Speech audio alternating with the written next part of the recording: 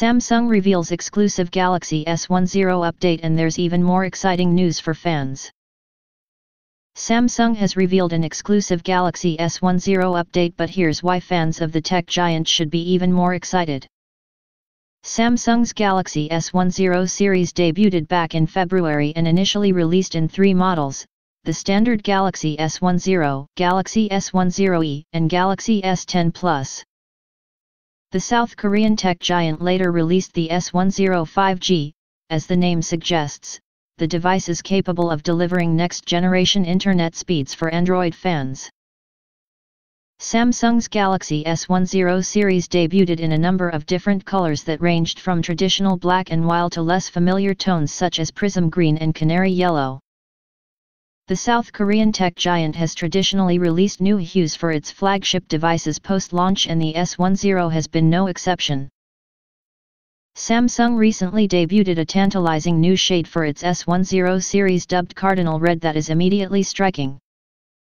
The color is incredibly bright and expertly contrasts with the phone's black camera module.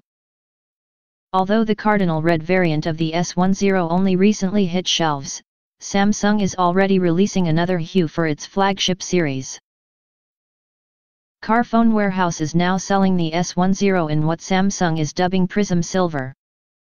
The color is distinguishable for its gradient finish that appears to blend silver with gold and blue tones. Prism Silver is available for the standard Galaxy S10, Galaxy S10e, and Galaxy S10 Plus on the retailer's site or in-store.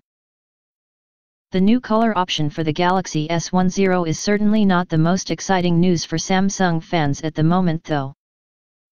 SamMobile recently declared Samsung will debut the second generation of its new One UI skin alongside its rollout of Android Q for supported devices. The outlet noted the fresh software is anticipated to bring improvements to digital well-being and include a number of features Google has already announced will be present in Android Q.